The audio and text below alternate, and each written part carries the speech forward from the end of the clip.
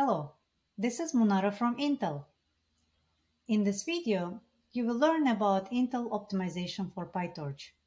When we say Intel optimizations for PyTorch, we mean optimizations developed by Intel that were upstreamed and already integrated into stock PyTorch framework, and optimizations implemented in Intel extension for PyTorch.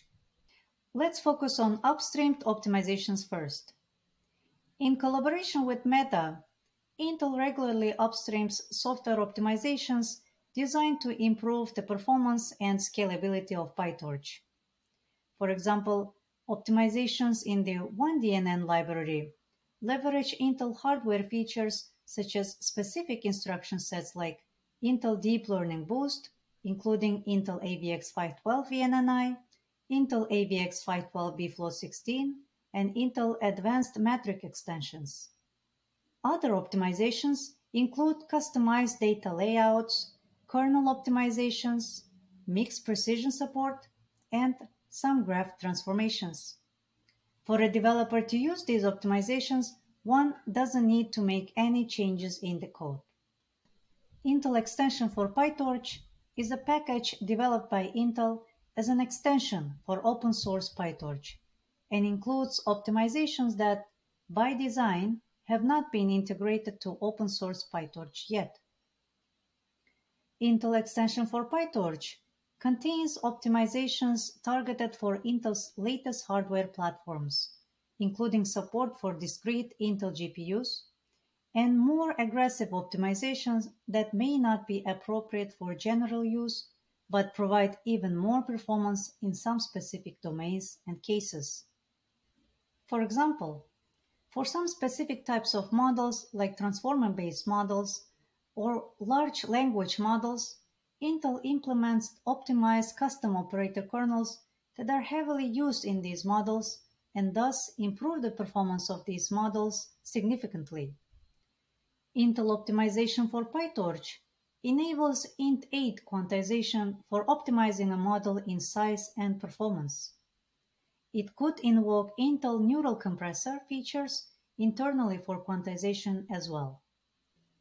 So, if you have access and would like to try running your application on the latest Intel hardware, or if you'd like to try out the more aggressive optimizations, you can install Intel extension for PyTorch separately. For Intel extension for PyTorch usage, some minimal code change is required. If you're running your model on CPUs, we suggest trying out the stock PyTorch first and seeing if performance is acceptable. If more performance is needed, then try the Intel extension for PyTorch package next. If you run your model on discrete Intel GPUs, you should use the Intel extension for PyTorch package directly first. If you wonder what type of optimizations are being developed for PyTorch, then in general, we can divide them into three categories. Operator level optimizations, graph optimizations, and optimizations affecting runtime. We aim to improve the time it takes to execute a single operator by applying vectorization and multi-threading techniques, by enabling the operator to run in low precision, such as bfloat16 or int8, and by changing the data layout to favor cache locality. We also perform graph-level transformations like constant folding for reduction of compute time and operator fusion for benefiting cache locality. With runtime extension, we provide PyTorch APIs to control thread execution behavior, such as binding threads to physical cores and enabling multi-stream runs. We provide a launcher utility script that helps users run an application using different optimized configuration settings when running performance tests. We also support execution with discrete Intel GPUs. You can learn about this topic and more by following the links in the description.